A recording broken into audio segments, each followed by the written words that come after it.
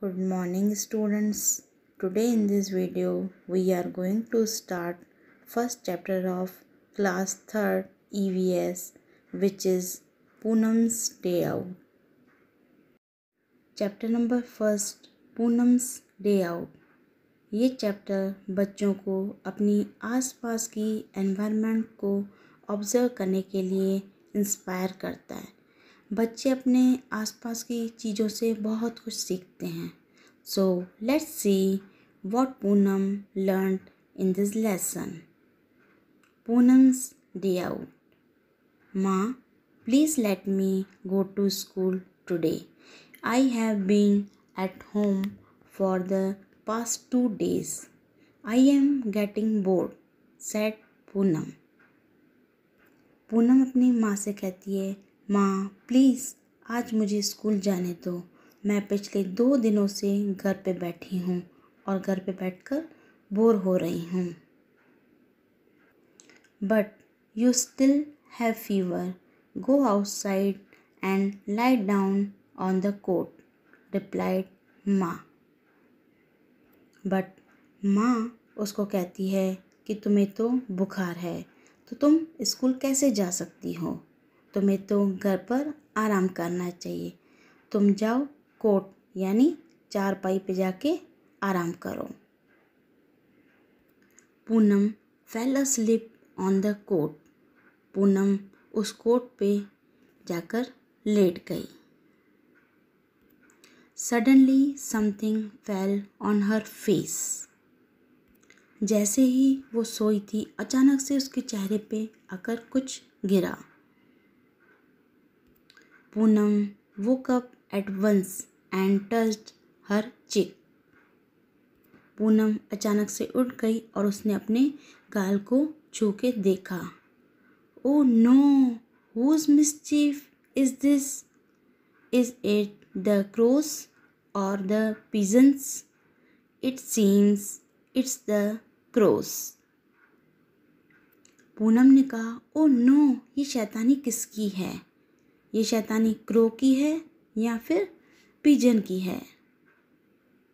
अब पूनम किस शैतानी की बात कर रही है? चिल्ड्रन, जब भी किसी पेड़ के नीचे कोई कार, कोई गाड़ी या कोई भी चीज़ पड़ी होती है और उस पर कुछ अचानक से गिर जाता है तो वो क्या होता है? वो बर्ड्स की बीट होती है।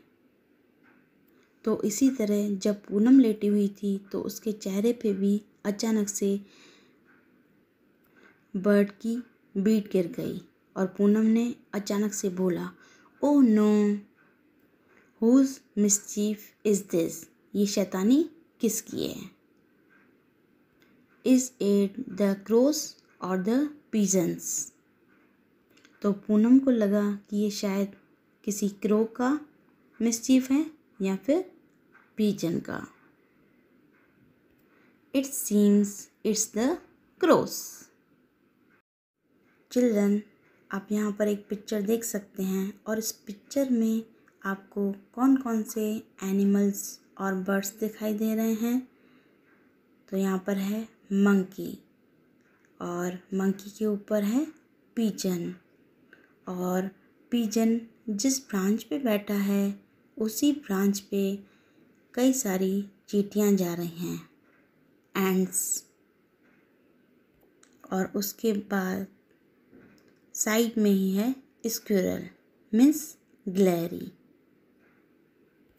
And crow, butterfly, myna, sparrow, parrot तो इतने सारे एनिमल्स और बर्ड्स जो हैं वो पेड़ पर हैं और इन सबको पूनम ने देखा।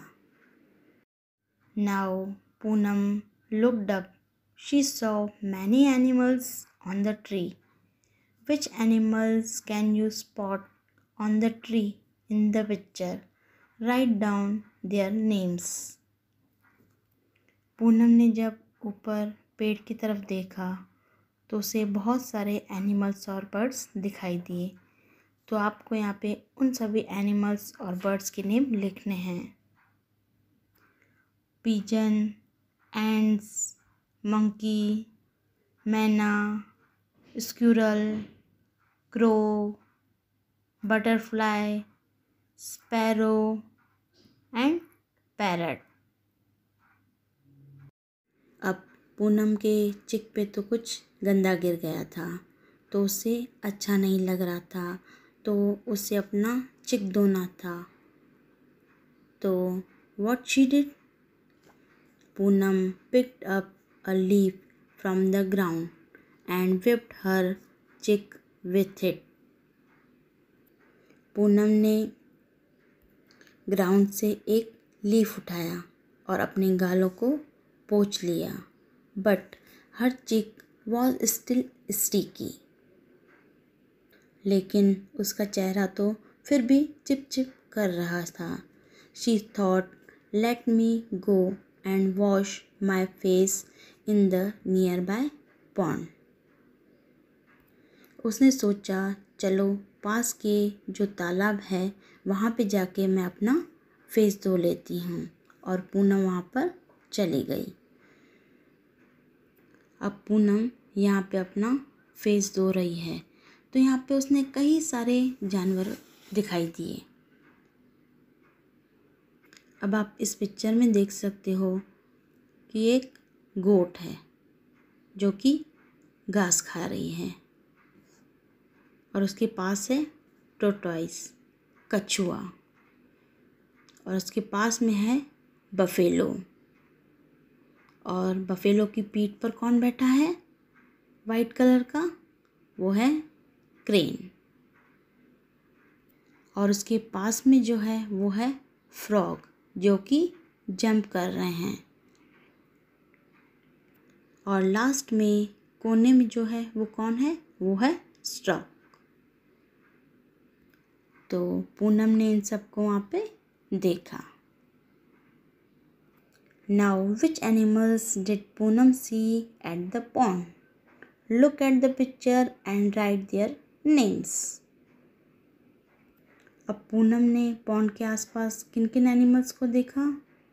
Goat tortoise buffalo crane frog and stork children कुछ एनिमल्स ऐसे होते हैं जो सिर्फ़ ज़मीन पर रहते हैं जिनको हम कहते हैं लैंड एनिमल और कुछ एनिमल्स ऐसे होते हैं जो सिर्फ़ पानी में रहते हैं उन्हें हम कहते हैं वाटर एनिमल और कुछ एनिमल्स ऐसे होते हैं जो ज़मीन और पानी दोनों में रहते हैं उनको हम कहते हैं amphibians land animals like cat cow sheep, dog. Water animal like turtle, fish, shark, dolphin, starfish, jellyfish. And amphibian, red-eye frog, etc. और कुछ एनिमल्स ऐसे भी होते हैं जो ज़मीन के नीचे रहते हैं दे लिव इन द बुरोस जो ज़मीन में गड्ढा बना के रहते हैं rat earthworm ants etcetera now can you act like the animals seen at the pond which animal makes what kind of sounds and movements. Try to make similar sounds. तो आपने कभी पॉन्ड में जितने भी एनिमल्स को देखा है, क्या उनमें से किसी एनिमल के साउंड को आप उसके जैसा बना सकते हो? लाइक गोट में में frog croak croak cat mew meow तो ऐसे ही साउंड्स निकाल के आप अपने फ्रेंड के साथ खेलिए। Different animals move in different ways to go from one place to another अलग अलग एनिमल्स अलग अलग तरीके से एक जगह से दूसरी जगह तक जाते हैं। Some animals walk some crawl some fly and some swim कुछ एनिमल्स चलते हैं कुछ एनिमल्स रेंगते हैं और कुछ एनिमल्स उड़ के जाते हैं और कुछ एनिमल्स तैरते हैं। और इस तरह वो एक जगह से दूसरी जगह तक जाते हैं। For this some animals use their feet some use their wings some animals even take the help of their tail कुछ एनिमल्स अपने फीट का यूज़ करते हैं। कुछ एनिमल्स अपने विंग्स मीन्स पंखों का यूज़ करते हैं और कुछ अपनी टेल का यूज़ करते हैं। एक जगह से दूसरी जगह तक जाने के लिए। अब वो कौन है जो अपनी टेल का यूज़ करता है? फ़िश फ़िश जब स्विम करती है तो वो अपने पीछे की टेल को हिलाती है। और उससे ही वो डायरेक्शन चेंज करती है. So that is why fish is a kind of animal that take the help of their tail to move from one place to another you must have seen many animals too right which of them यहाँ पे आपको animals के name लिखने हैं। Can fly, जो उड़ सकते हैं।